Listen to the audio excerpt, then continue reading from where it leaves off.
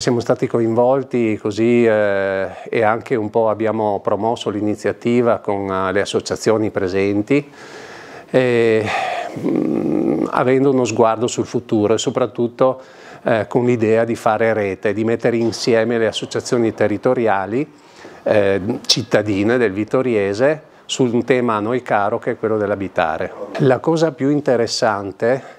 è che c'è un progetto, quello della centro sociale Piazzoni che potrebbe concretizzarsi, ancora non sappiamo se è possibile, però ci sono buone potenzialità e questo permetterebbe un lavoro eh,